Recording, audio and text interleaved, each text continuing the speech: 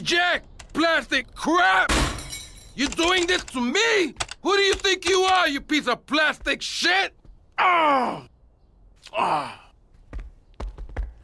Bro, you! It is my favorite El Burro movie. It died. What else can I do? It's probably not plugged in. What? Damn. No matter. I can buy a hundred more. Now, Tommy.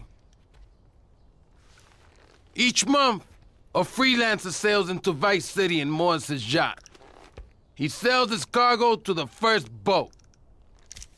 I want you to take the speedboat and beat all the other shitheads to it. Then you bring the cargo here.